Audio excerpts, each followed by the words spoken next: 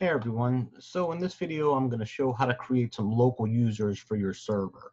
Uh, we'll create both a administrator and a non-administrator user and I'll show you the difference between those. So uh, let me go ahead and just connect up to our server A here that I've got running in the background. All right, and to do this we're going to go to computer management. So to get there just uh, go down to the start square and right click and then in the choices go ahead and pick computer management and then you'll see a bunch of choices come up. So we're going to expand out this local users and groups here. Uh, so you can see it's got a couple folders. So users is where you go to create your user. Groups is where you're going to go to add that user to a certain group. So I'll go ahead and click on users and we'll create uh, we'll create both an admin and a non-admin user. So what you do is you highlight that users and you just right click over here in the square and say uh, new user and then this new user box pops up. So I'll create a user for myself. I'll say Jason is my user. Um, full name is just me. Uh, description will say uh, admin account for Jason. Uh, and my password, I'll go ahead and set a password. And since this is for me, I'll take this must change password off. We'll do that for the next user uh, and we'll say my password never expires. And then there's the two buttons at the bottom. Just make sure you hit the create button here, and then you can close that out and you can see, boom, my, my account is up there, my Jason account.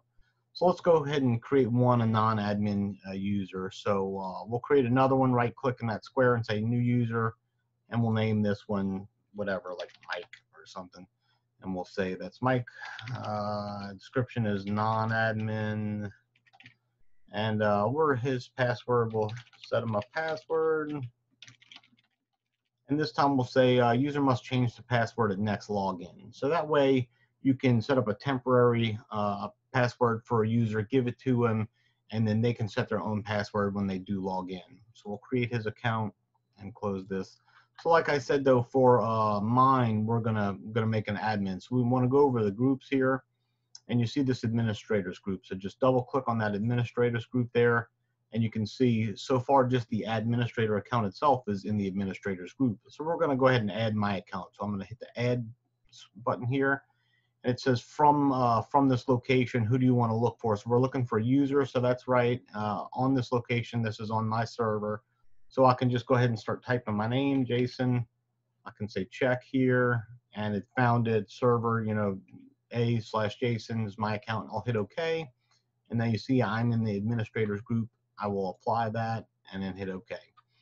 So now that I have my users, we can go ahead and try them out and log in. So uh, let me go down to the start square here. I'll left click on that. And then you can go up there to the administrator, left click on that and say sign out. So I'm gonna sign out of it. And now when I hit control alt delete on this here, control alt delete, so it's got my different choices of which users here. So let's go with Mike first. So I'm gonna pick Mike and I'll type in my password. Remember, it should ask me to change this password now. So it says, yep, the user's password must be changed before signing in. I'll say, okay. Uh, me go ahead and, and set that up. Uh, so, uh, whoops, uh, not strong enough put in his old password and then the new password.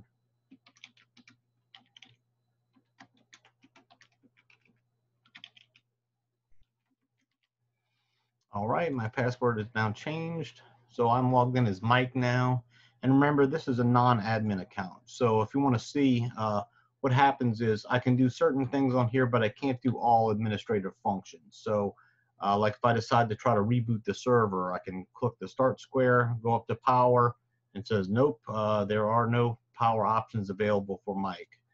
So then I can go back down to like say the network. So I can I can open this, I can go to the adapter, I can click, I can look at details because you can see there's no little uh, user access control admin prompt so I can see these details, but if I go to hit the properties, it says, nope, uh, what's the administrator password or what's Jason's password? So, so let me just close out and then let me log in as Jason. I'll sign out of Mike. I'll log back in here and we'll go with Jason this time. And remember, Jason is an administrative user here, so uh, I'll see server manager. If I hit the start square and I hit power, it will allow me to shut down the computer. Same thing with the network. Um, if I go look at the adapter settings and I hit properties, it does go ahead and show me the properties. So that's it. That's how to create a local administrator and non-administrator user on your server. Thanks a lot.